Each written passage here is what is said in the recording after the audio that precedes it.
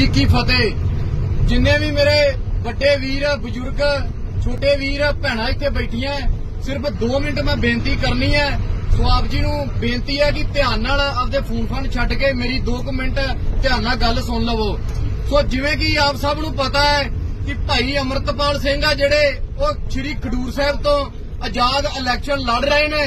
ਸੋ ਜਿਹੜੀ ਜਿਹੜੀ ਸੰਗਤ ਖਡੂਰ ਸਾਹਿਬ ਤੋਂ, ਖਡੂਰ ਸਾਹਿਬ ਦੇ ਹਲਕੇ ਤੋਂ ਆ ਜਿਵੇਂ ਕਿ ਜੀਰਾ, ਮਖੂ, ਤਰਨਤਾਰਨ, ਜੰਡਿਆਲਾ, ਖੇਮਕਰਨ, ਇਹ ਜਿਹੜੇ ਹਲਕੇ ਖਡੂਰ ਸਾਹਿਬ ਦੇ ਵਿੱਚ ਆਉਂਦੇ ਆ। ਸੋ ਆਪ ਜੀ ਨੂੰ ਹੱਥ ਜੋੜ ਕੇ ਇਹੀ ਬੇਨਤੀ ਆ ਕਿ ਭੈਣੋ ਤੇ ਭਰਾਵੋ, ਵੱਧ ਤੋਂ ਵੱਧ ਭਾਈ ਅਮਰਤਪਾਲ ਸਿੰਘ ਦਾ ਸਾਥ ਦਿਓ। ਉਹਨਾਂ ਨੇ ਜਿਹੜੀ ਖਾਲਸਾ ਵਹੀਰ ਚਲਾਈ ਸੀ, ਨੌਜਵਾਨੀ ਨੂੰ ਸਿੱਧੇ ਰਾਹ ਤੇ ਪਾਇਆ, ਅਮਰਤਪਾਲ ਸਿੰਘ ਨੂੰ ਜਿਤਾਉਣਾ ਹੈ ਤੇ ਆਪਾਂ ਉਹਨਾਂ ਨੂੰ ਜੇਲ੍ਹ ਚੋਂ ਬਾਹਰ ਕੱਢਣਾ ਹੈ। ਤਾਂ ਕੋਈ ਤਾਂ ਜੋ ਸਿੱਖ ਪੰਥਾ ਜਿਹੜਾ ਇਹ ਸਹੀ ਰਾਹ ਤੇ ਚੱਲੇ ਤੁਸੀਂ ਰੋਜ਼ ਹੀ ਵੇਖਦੇ ਹੋ ਕਿਵੇਂ ਆਪਣੀ ਨੌਜਵਾਨੀ ਦਾ ਘਾਣ ਹੋ ਰਿਹਾ ਹੈ। ਕੋਈ ਫਾਹ ਲੈ ਕੇ ਮਰੀ ਜਾਂਦਾ, ਕੋਈ ਚਿੱਟੇ ਨਾਲ ਮਰੀ ਜਾਂਦਾ ਸੋ ਵੀਰੋ, ਆਪਣਾ ਇਤਿਹਾਸ ਪਛਾਣੋ। ਆਪਾਂ ਉਹ ਆ ਜਿਹਨੇ ਸਵਾ ਲੱਖ ਨਾਲ ਇੱਕ ਲੜਾਇਆ ਸੀ। ਆਪਾਂ ਗੁਰੂ ਗੋਬਿੰਦ ਸਿੰਘ